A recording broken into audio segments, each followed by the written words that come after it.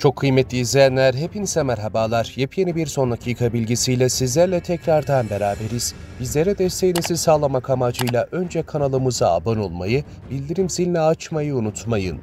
Rusya devleti ile Türkiye bu konu üzerinde birleştiler. Rusya Dışişleri Bakanı Lavrov yaptığı açıklamasında Türkiye ve Rusya boğazlara kadar güvenliği sağlamaya hazırdır diyerek bir ifade kullandı.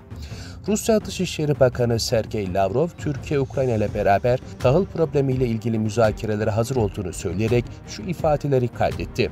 Rusya ve Türkiye-Ukrayna suları dışında gemilerin boğazlara kadar güvenliğini sağlamaya hazırdır şeklinde konuştu. Lavrov yapılmış G20 ülkeleri Dışişleri Bakanları toplantısından hemen sonra bazı soruları yanıtladı.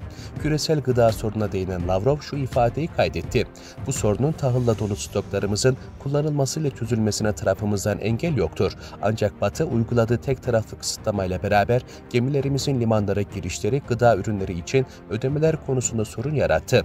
Batı Ukrayna devletinin tahılının Karadeniz'deki limanlardan çıkarılmasını çok istiyorsa Kiev'in bu limanların mayınlardan temizlenmeye zorlanması, gemilerin Ukrayna sularından çıkmasına izin vermesi gerekiyor diyerek konuştu. Türkiye, Rusya ve Ukrayna arasında yapılmış tahılla ilgili müzakereler hakkında konuşan Lavrov şunları söyledi.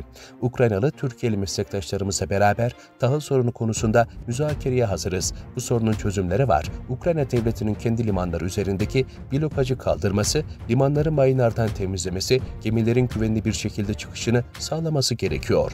Rusya ve Türkiye'nin Ukrayna suları dışarısında gemilerin boğazlara kadar güvenliğini sağlamaya hazır olduğunu söyleyen bakan, gemilerin bu şekilde dünya pazarlarına ulaşabileceğini de ileri sürdü.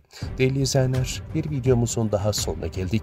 İlerleyen saatlerdeki videolarımızda siz değerli takipçilerimize buluşmak ümidiyle. Hoşçakalın, esenlikle kalın.